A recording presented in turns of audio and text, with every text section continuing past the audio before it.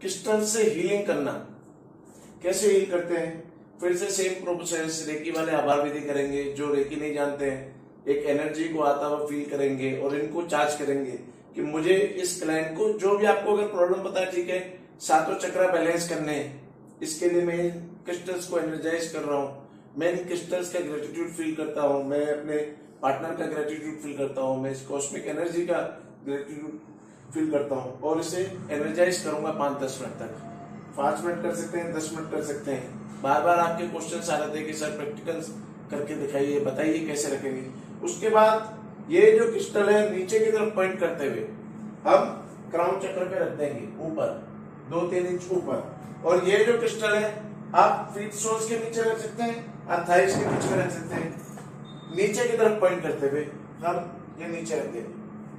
ऐसे हम एनर्जी उनके पास होती रहेगी। और आप भी एनर्जी देते रहेंगे, दोनों क्रिस्टल्स को।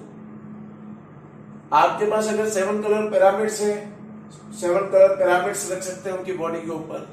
आपके पास सेवन कलर्स के पेबल्स हैं सेवन कलर के पेबल्स रख सकते हैं उनके हर चक्र पे।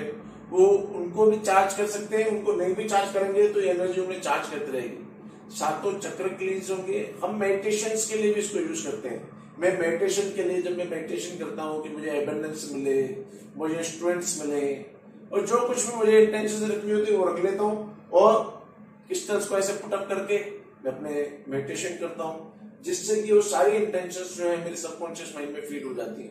मेडिटेशन के लिए भी आप यूज़ कर सकते हैं। कुंडली एक्टिवेशन के लिए करना है तो इन पॉइंट्स को एग्जैक्ट ऊपर कर देंगे।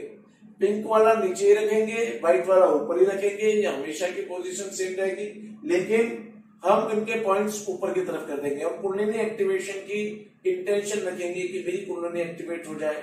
कोई एग्रेशन ना आए। मैं आध्यात्मिक ऊर्जा का प्रॉपरली यूज़ कर सकूँ।